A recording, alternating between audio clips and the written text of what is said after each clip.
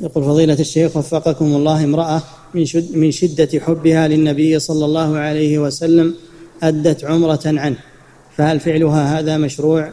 وإذا كان فعلها هذا غير مشروع. المشروع الصلاة والسلام عليه وسؤال الفضي... آه، وسؤال الوسيلة له صلى الله عليه وسلم وأما العبادات فله مثل أجر من من فعلها.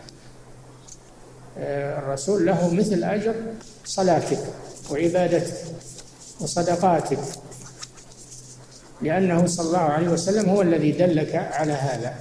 قد قال صلى الله عليه وسلم من دعا إلى هدى فله من الأجر مثل أجور من تبعه لا ينقص ذلك من أجورهم شيئا.